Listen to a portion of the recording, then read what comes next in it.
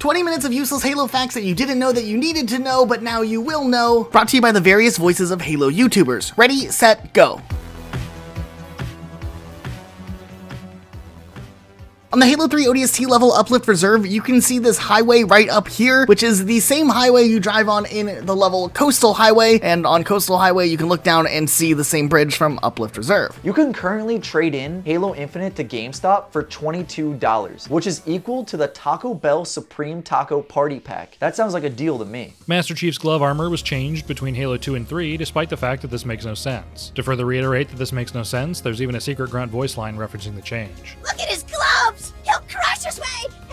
different numbers of on his gloves? Good trailer. We Are ODST's one best trailer of 2009 on MissCinema.com. After the fall of Reach, MOAs almost went extinct. However, some still survive on remote locations of the planet not glassed by the Covenant. Despite this, people eat MOAs, even though baby MOAs would make for cool pets. That hologram on a ceiling in the flare room on the Halo 3 map Guardian, it's actually using a NASA stock image of the planet Mars. Likewise, each of the Halo Ring holograms on the mission The Covenant in Halo 3 are also using NASA stock images of different moons and planets throughout our solar system. Tombstone the Halo 2 map was originally just exclusive to the Xbox version. It was not officially made available for Halo 2 for Windows Vista, but modders were able to port Tombstone to Halo 2 Vista. It is possible that Tombstone was named after the Arizona city of Tombstone, where in 1881, Wyatt Earp, his brothers, and Doc Holliday participated in the most infamous shootout of the North America's Wild West, the gunfight at the OK Corral. This would also keep with the western theme of the name of Tombstone's predecessor, Hang 'em High. Even though it wasn't drivable, the forklift technically made its official debut in Halo 3 and has appeared in every Halo title since. When Halo and Fortnite collaborated, Red vs. Blue made an episode in Fortnite to promote the Master Chief skin. Blood Gulch was actually recreated in Fortnite for a limited time game mode. Cut ideas from Halo 1 and Halo 2 like engineers, flooded Mombasa tunnels, and first-person drop pod sequences were later brought back for ODST, but were originally intended to be in older titles. As the rookie snaps his SMG into his pod's weapon holster, one might notice that the flashlight is active. The Warthog physics in CE are so great, you could do a 360 spin on the big jump on the Maw. You can also just barely touch other players and kill them. So technically, as far as the game files are concerned, the Mantis in Halo 4 is actually a biped, like any other living character, which means the Mantis is technically alive just like Chief, Cortana, Elites, Didact, and so on. It's not actually a vehicle as far as Halo 4 is concerned. You can actually prove this on the China version of MCC, because the built-in Chinese censorship features makes dead bodies fade away, and if you destroy a Mantis, it will also fade away, just like any other bodies. But other vehicles that get destroyed will not fade away. In Halo Combat Evolved, some tricks and jumps are easier to do in Legendary difficulty because your grenade does less damage in Legendary to make the game harder, and since your grenades are weaker in Legendary, the survivability of doing a trick jump is also higher. As of Halo 3, any files pertaining to instance geometry are named poop, and in Halo Reach, there's even a file named really big fucking poop. Why?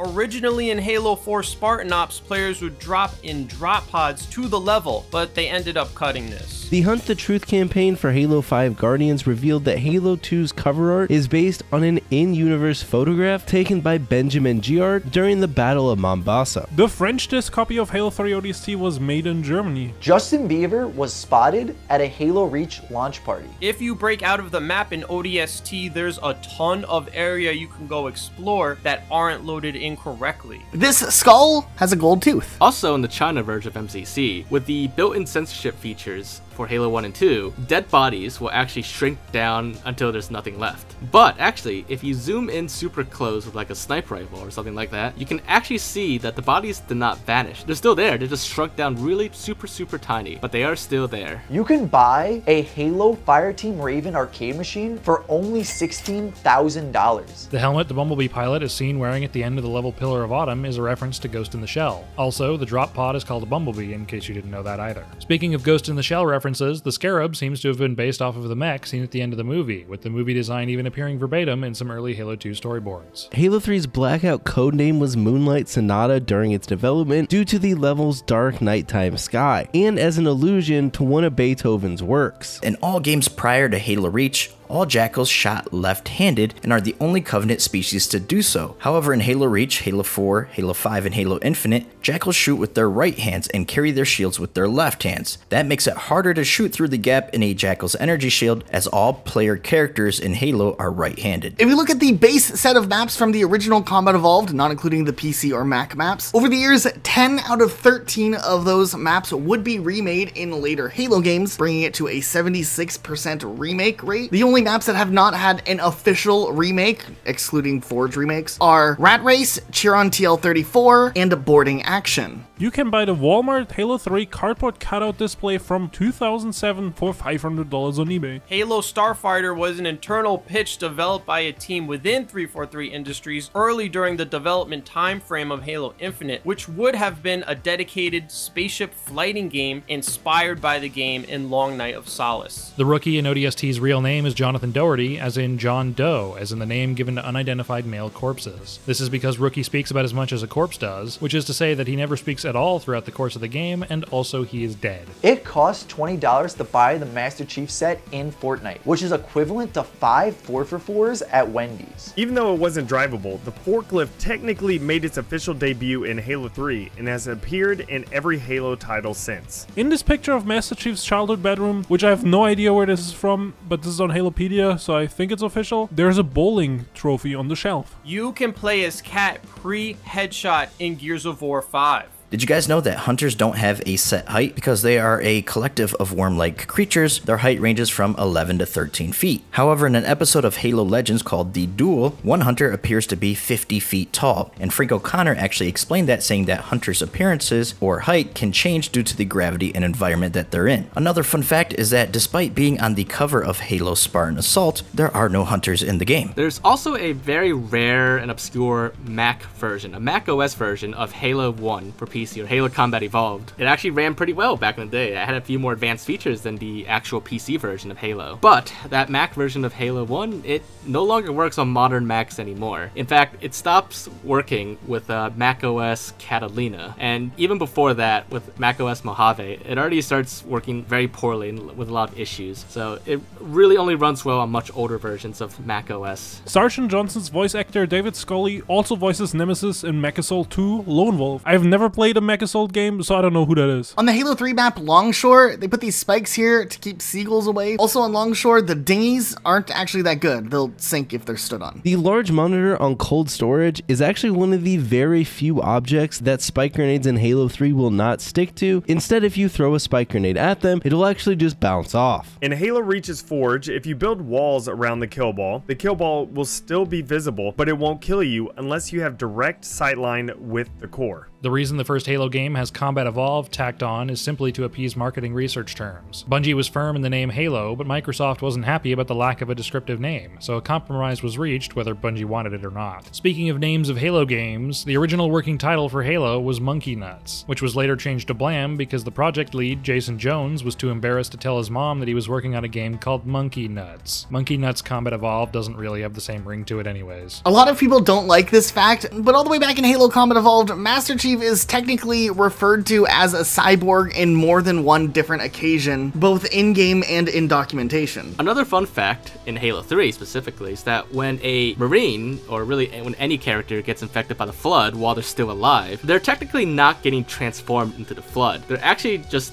dying until they actually completely die first. And then once they're dead, the game actually swaps out their character with that of the Flood combat form. So that is actually how Flood transformations work in Halo 3's engine. Anatork is Cortana backwards. During the last days before Halo 2 servers were officially shut down, the Did You Know box in the search screen of the matchmaking section displayed messages, which were changed to comical style about Halo 2's features and exploits, like saying SMG starts were a mistake or that the BXR was actually an exploit. If you pick the colors purple and yellow in Halo 3, you can look like a Minnesota Vikings fan. Engineers technically aren't living biological creatures, they're synthetic and programmed by the Forerunners, but they're low key adorable, so people will forgive it. Master Chief can run 65.2 miles per hour, but Halo fans still cry when he speed walks. The plural of mongoose is actually pronounced mongooses because the vehicle is named after the mammal and not the bird. There's an official commendation in Halo 5 that confirms this. The collector's edition statue of Master Chief versus a Hunter that was made for the movie Forward Unto Dawn had free shipping. Now, during the Prophet of Regret boss fight in Halo 2, once you kill him, his character is actually swapped out for a different version of himself that's hidden outside the map on top of the building that you're in. You can actually see the swap happen if you play it in slow motion. Once you kill the Prophet of Regret, for a split second, you could see his body being swapped for the other one. And if you actually get out of the map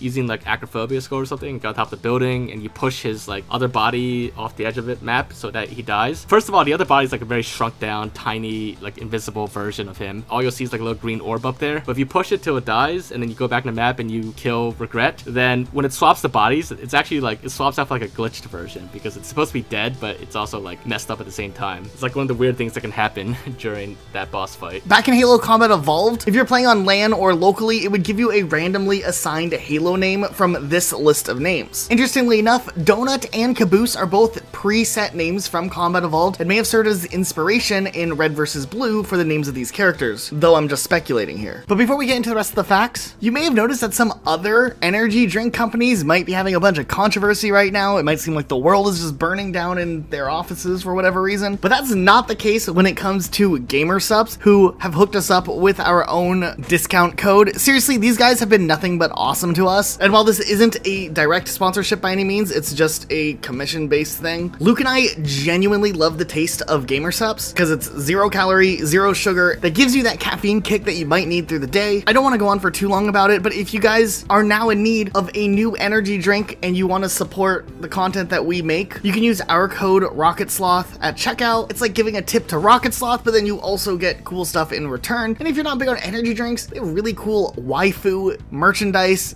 Dim loves this stuff. So maybe that stuff would be up your alley. Master Chief weighs 286 pounds, which is equivalent to 286 one pound rocks. Originally, Halo, the franchise that we all directly think of the Xbox when we think about, was actually going to be a Mac game. Just like later on, when Halo did become an RTS with Halo Wars, the original Halo game actually started its life as an RTS. In Halo Infinite, you could drive around in the Warthog with all four tires blown off. The Battle of Shadow and Light content update for Halo 5 Guardians released on November 18th, 2015. Halo Infinite and Destiny 2 were blood relatives. Well, whatever the equivalent of blood is in relation to computer software. Both games run on a modified version of Bungie's proprietary engine known as Blam. The current engine name for Halo Infinite is Slipspace, and the current Destiny engine is known as Subscribed Williaso. That last part isn't true, I'm just chilling out my channel in the middle of a Rocket Sloth video. GameStop is currently selling Halo 4 for 99 cents, which means Halo 4 would be cheaper than some items on the McDonald's dollar menu.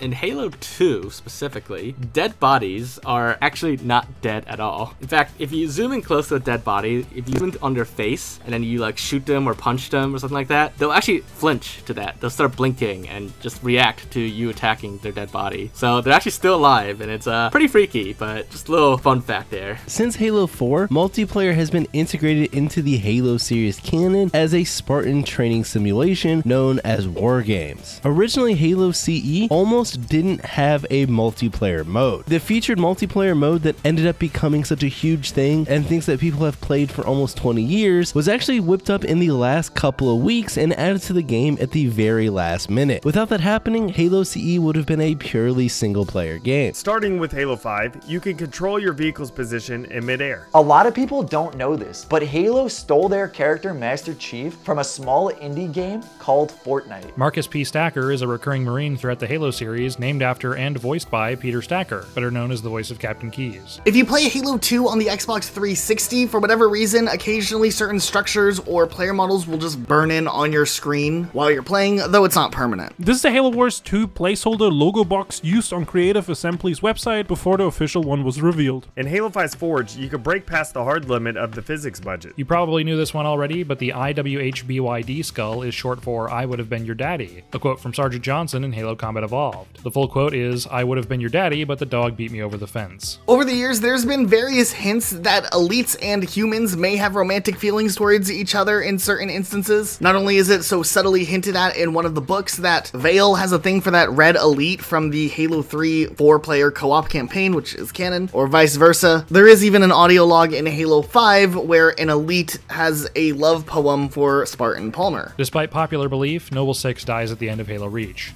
Please shut up. Halo 3 has 39,377 lines of dialogue. My oldest map still available for download is Tornado in Halo 3. One of my most popular maps, Tokyo Drift, is also one of the maps I dislike the most. Captain Lasky was born in 2510, and Master Chief was born just one year later in 2511. Miranda Keyes, however, was born 14 years after Master Chief. Halo 2 Anniversary had Forge, and Halo 2 did not have Forge. This is because it's a remake. Halo Infinite has several instances of a very high quality sandwich scattered about the game. This is because it's actually a miniaturized version of a giant sandwich that can be found in the game world being worshipped by grunts. Halo The Essential Visual Guide mistakenly lists the Forward Unto Dawn as appearing in Halo 3 ODST, which of course is false. They confuse it with the In Amber Clad. Catherine Halsey first appeared in the first book of the Halo franchise, Fall of Reach, but didn't receive an indirect mention in game until Halo 3. There's also this little plaque on Oni Alpha site in ODST posting a memorial to Catherine Halsey, who supposedly died on Reach, though it even states that no body was found. Halo CE and Halo 4 both feature the same four Covenant species elites, jackals, grunts, and hunters. This character from Forward Unto Dawn grew up to be a character in Hunt the Truth, the audio story, who is voiced by this guy. Halo 4 has a Metacritic score of 87. If you deduct 87 points from that, it would be rated 0. On Uplift Reserve in Halo 3 ODST, there's a pointless cave over here that you can go in. This last one may or may not be a verified fact, but Halo seems to be the first FPS game to have a dedicated button for melee and grenades, respectively. Up till then, you would have had to have swapped to your melee weapon or grenade before being able to use it. This fact is still debated to this day, but so far I've yet to see examples of other games using these mechanics before Halo Combat Evolved. We know that some classical music is also canon in the Halo lore. Rachmaninoff's Piano Concerto No. 3 is mentioned in Halo The Fall of Reach Chapter 1. Mahler's Symphony No. 2 is mentioned in Halo First Strike Chapter 13, and Debussy's Prelude number 4 is mentioned in Halo Ghost of Onyx chapter 16. Master Chief could have probably saved Miranda Keyes if he would have flown his Hornet through the window the same way Miranda did, instead of getting out of his Hornet, walking through the door, and taking an elevator ride up. Also, we do not know much about the economy of the inner colonies. Some people think that Halo 3's Narrows is a remake of Gephyrophobia, and I can kind of see it, kind of. This sign on the storm spells out